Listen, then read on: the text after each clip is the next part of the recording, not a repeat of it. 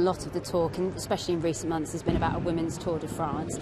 You've been quite clear on that. You think it's a great idea, but you're not necessarily sure the way the plan of attack at the moment is to be the same as the men. Just talk us through that.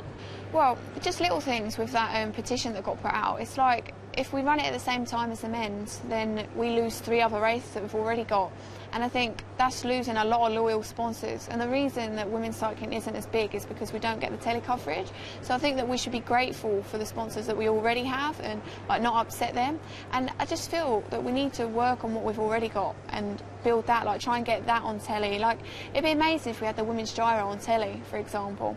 So I just think we need to work on what, what we already have and then start looking at getting a women's tour of France because obviously they're throwing in a women's tour of Britain this, for next year as well. So that's a first stepping stone. I think if you throw in too many tours, the little races with the loyal sponsors are just going to disappear. You're here as an ambassador for Ride London. Why was it important for you to get involved in this event?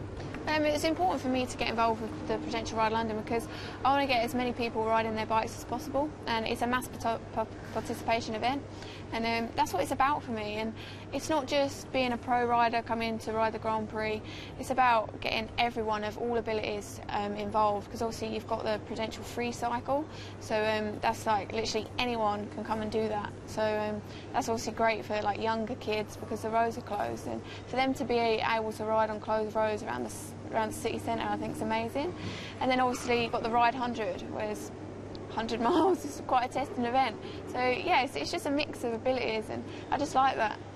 When you heard they wanted to get 20,000 amateur cyclists riding 100 miles from London down to Surrey, then back up to London again, what was your initial reaction? That's going to be tough, especially because obviously I didn't ride the road race at the Olympics, but I saw it on telly and I thought that is pretty hard.